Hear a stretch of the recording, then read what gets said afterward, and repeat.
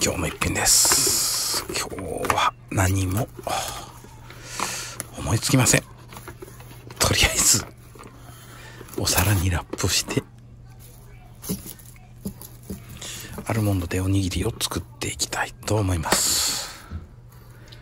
ご飯を入れてからし明太子。たっぷりと入れていきます。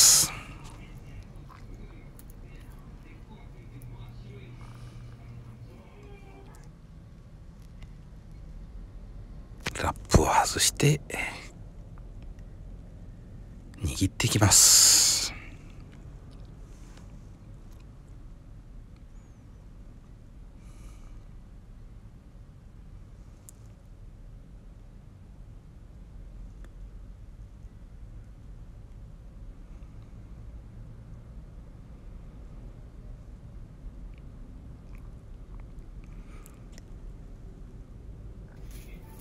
はい、あとは海苔を巻いて。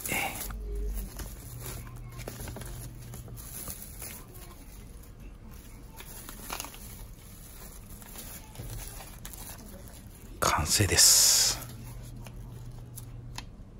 からし明太子おにぎり。お弁当にどうぞ。